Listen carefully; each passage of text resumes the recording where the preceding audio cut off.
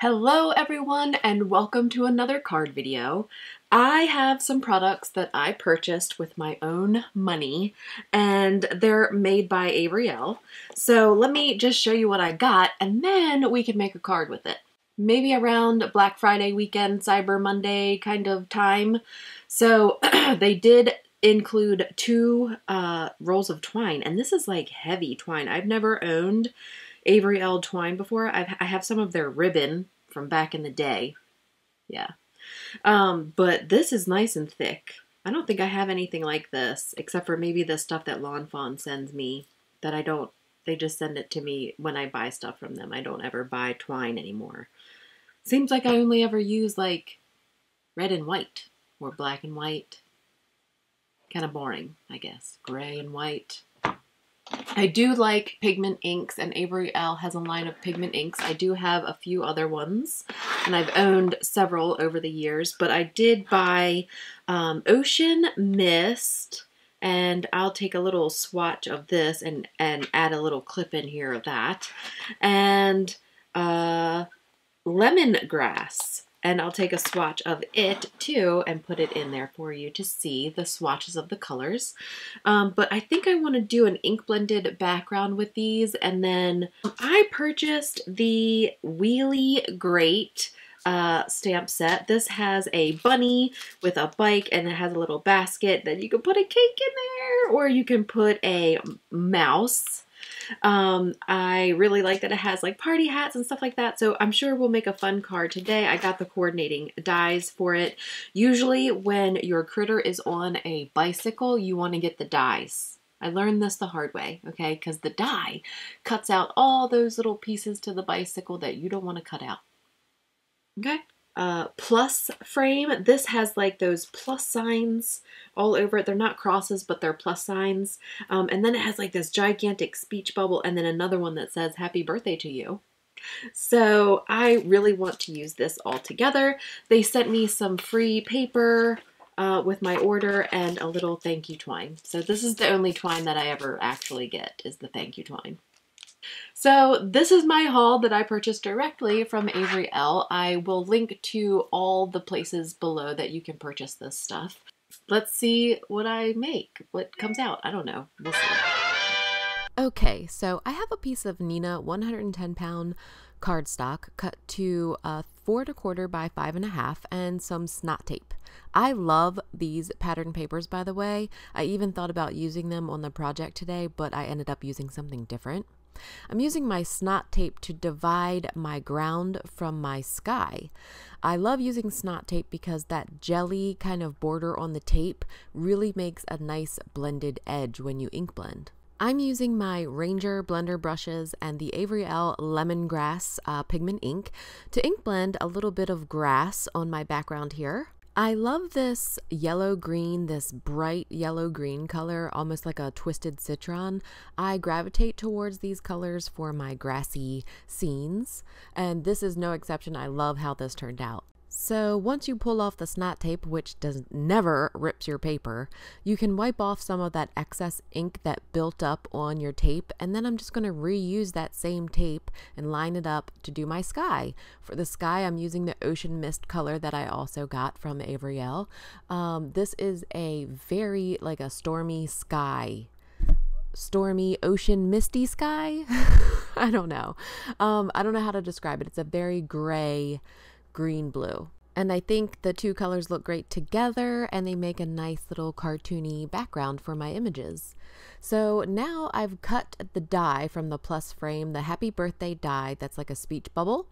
And I'm taking out all of the pieces, all of the negative pieces, and we're to use almost everything today. All of the positive and negative and whatever you want to call them pieces of this die so i'm going to use this bowl that had some schmutz in it or some paint. Leftover paint is probably what it is. And i'm going to make sure that i keep all of those tiny little pieces.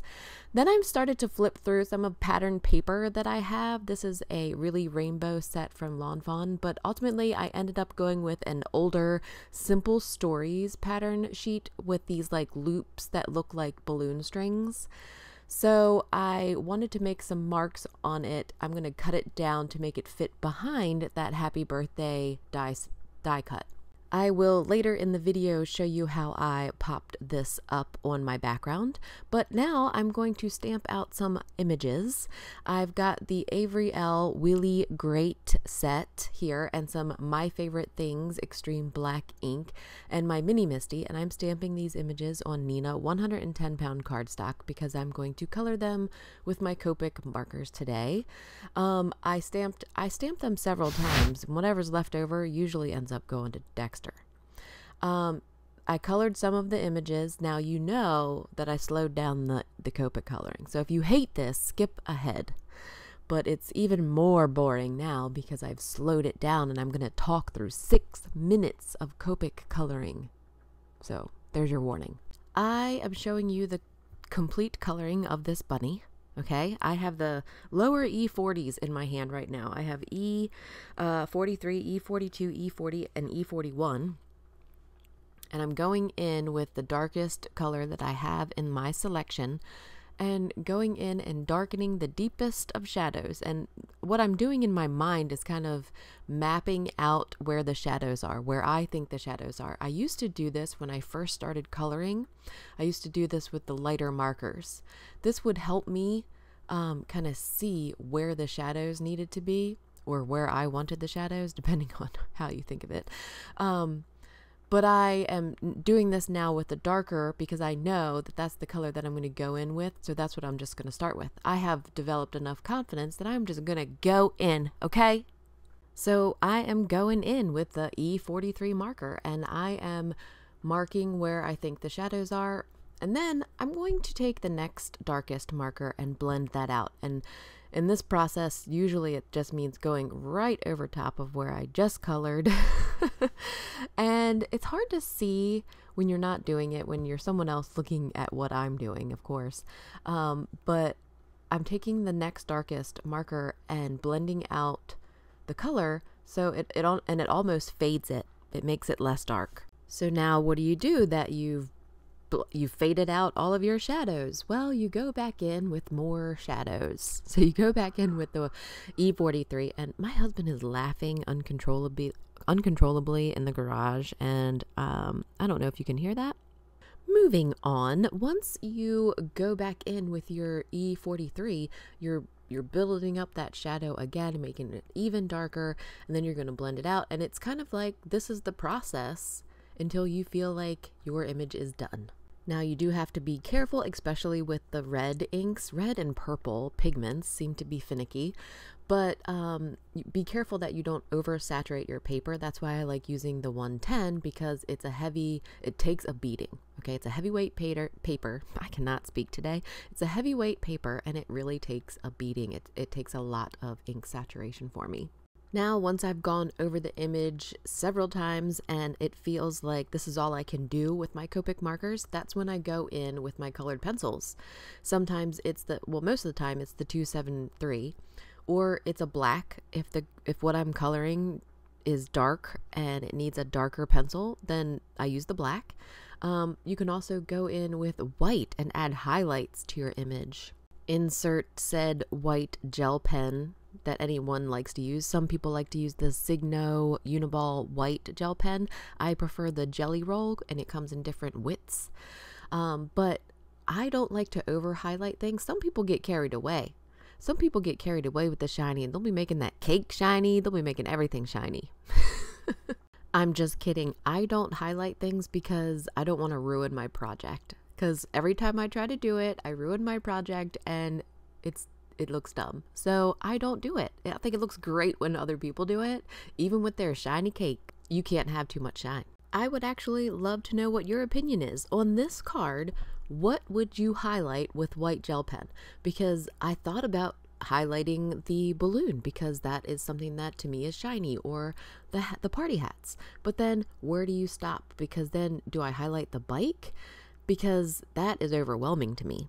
Leave me a comment below letting me know where you would highlight or white gel pen the images on this on this card. That is an interesting topic of conversation to me. How odd.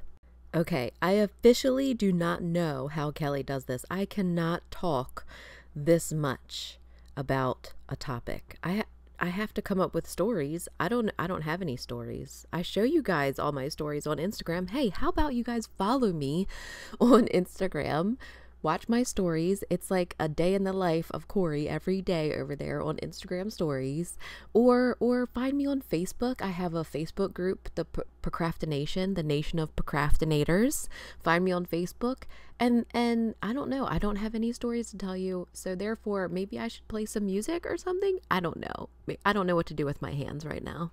Ooh, ooh, I know what I can tell you. Okay, I can tell you about how all of the birthdays in my house fall within a very close time frame. They're all in the in in 6 months, okay? And there's 6 people in my house. Okay. So by the time we are done celebrating in December, which is like the last of our celebrating for Tim's birthday and, and, and New Year's and whatnot, like right now, we don't want to do anything. Like literally, I don't leave the house because I am done. I am done with birthdays. I am done with celebrating. All I want to do is be home and chill out. And it usually continues that way until the weather warms up and I come out of hibernation. So I love how he turned out. He looks fabulous on his little red bicycle. And I'm looking for the dies that I can never find anything in front of my face.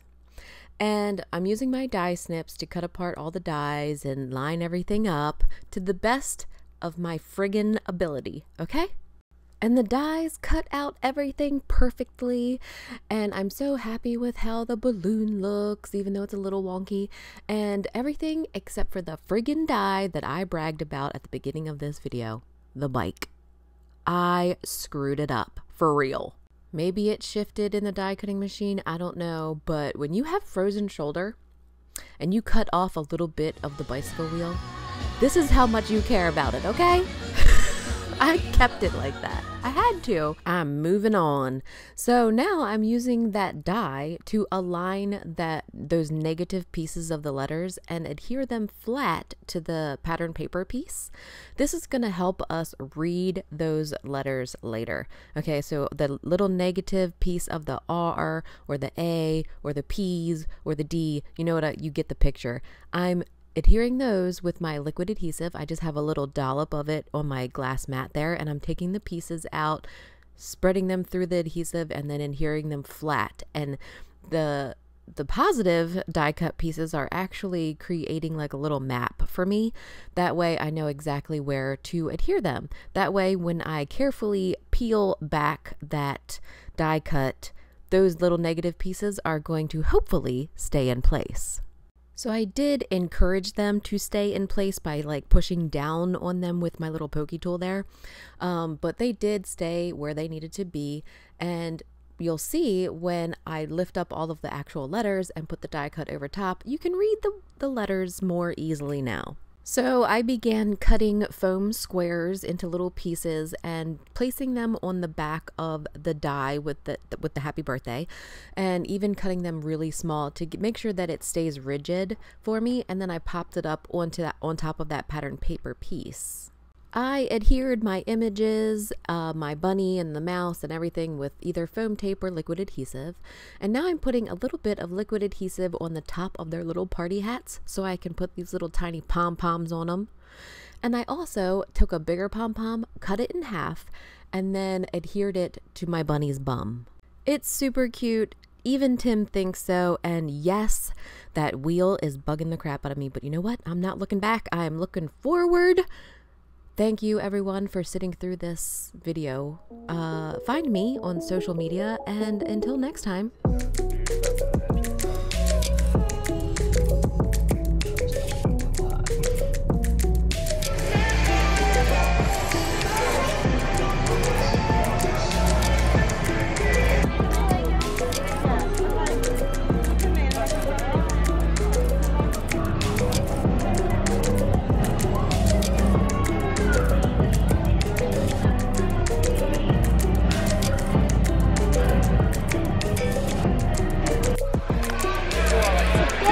Oh, that's not a Deadpool. I like the Deadpool wallet.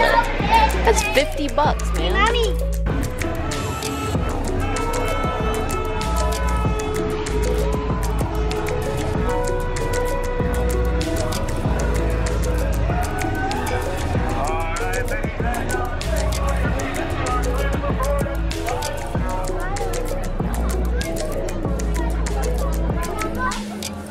I love videotaping you while you Instagram. Yeah? No, I just think it's funny. Okay.